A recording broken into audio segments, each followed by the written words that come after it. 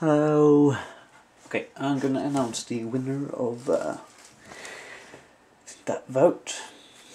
For those who doesn't know it, it was a vote between if I'm going to do the Terminator tutorial about how you paint the layers, and the other one was to paint, or well, to do a tutorial about the face.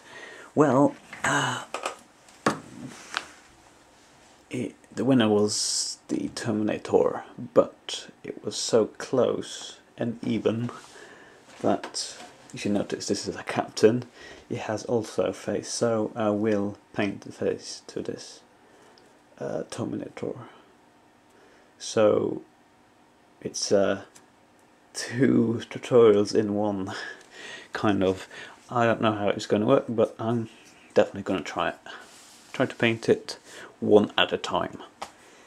So I hope that was good enough. Um, I won't have time tomorrow to start with it, but uh, because I'm going to watch Avatar, I've waited a long time to see that movie.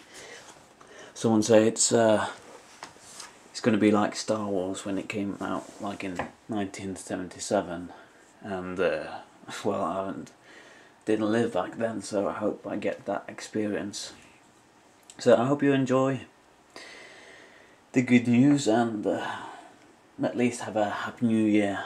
If there's no any um, other videos I'm going to put up, I just don't want to put too many up and you won't barely see them.